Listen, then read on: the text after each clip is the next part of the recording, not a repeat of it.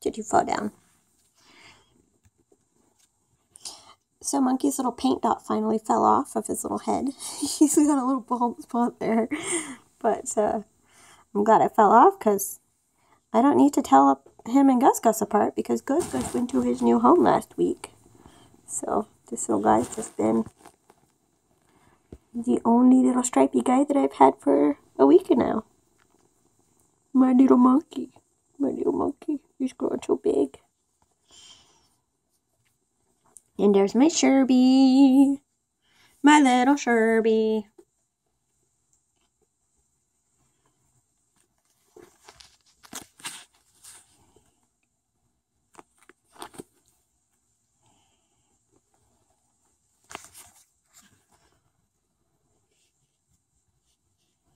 Oh, I guess I gotta refill their plate. Doesn't look like there's much on there. Oh, Sherby's finding some food anyway.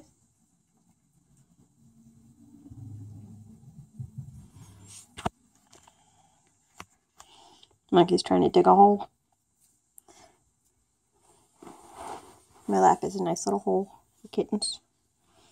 Makes a nice little hole.